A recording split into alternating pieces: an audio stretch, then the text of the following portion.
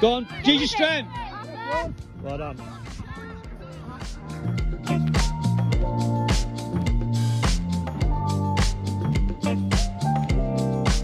Hi guys, welcome back to Tabitha's Football Journal. So today we're going to be playing against Sprowston and last time we played them we won 4-0 so hopefully we can fingers crossed get another win today and make sure we get some more points because we haven't had a match in a while so we need to sort of get some more points.